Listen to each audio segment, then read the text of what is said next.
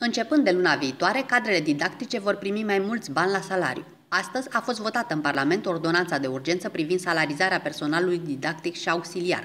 De această majorare vor beneficia mai multe categorii de angajați din învățământ. S-a hotărât să se acorde uh, creșteri în cuantumuri fixe, tocmai pentru a genera o echilibrare a salariilor atât între categorii de salariați cât și interiorul unei categorii de salariați. Este vorba de o creștere de, de 400 de lei la salariul de bază pentru personalul didactic de predare cu studii superioare de lungă durată sau cu ciclu 2 Bolonia, uh, o creștere cu 350 de lei a salariului de bază pentru personalul didactic de predare cu studii superioare de scurtă durată pentru institutori, educatoare și învățători.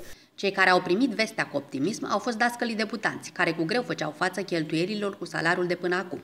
Consider că orice creștere salarială este binevenită, mai ales din perspectiva mea a cadrului didactic uh, debutant, care, cum am și zis, uh, are un salariu destul de modest, um, este foarte bună, foarte bună orice fel de creștere salarială. Um, pe lângă acest uh, aspect, trebuie să mai avem în vedere și faptul că în um, profesia de um, dascăl este necesară o perfecționare continuă care se face pe banii proprii. Așa că este binevenită. Mai pesimiști sunt dascălii care sunt în prag de pensionare și au obosit să aștepte ziua în care salariul le va ajunge pentru toate cheltuielile, mai ales că unele materiale didactice folosite la clasă sunt cumpărate cu bani din bugetul propriu. Am fost nevoiți de multe ori să le cumpărăm noi copiilor, caiete, creioane, acuarele, culori, tot ce avem. Înțeleg că cei 15% veniți la salarii, la salarii da. sunt bineveniți, sunt dar nu de bineveniți, dar nu de ajuns. Cred eu după 40 de ani vechime. Asta e părerea mea.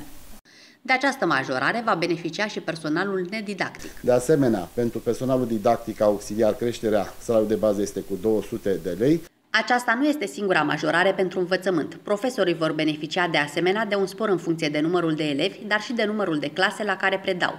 Astfel, aceștia ar urma să beneficieze de un spor de 7, 10 sau 15% din salariul de bază pentru personalul didactic care asigură predarea simultană la 2, 3 sau 4 clase de elevi.